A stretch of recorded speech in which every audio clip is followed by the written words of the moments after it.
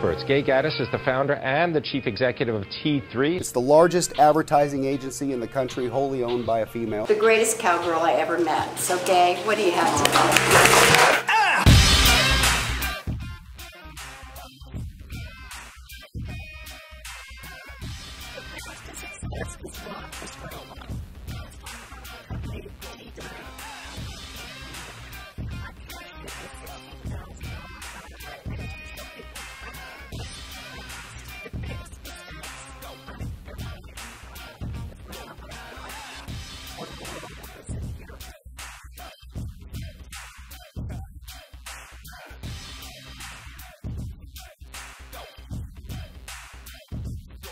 But my first job was in 1977. I was the second woman who'd ever been hired in the creative department. It's one of the missions that I'm on at this stage of my life, you know, is to really talk to young women and say, you can do all this. And you have to create your own support system. If you're freelancing, if you're in a group, it's your culture. You got to own it. Go back and create teams or people around you so that you can do the very best creative work you've ever done in your life.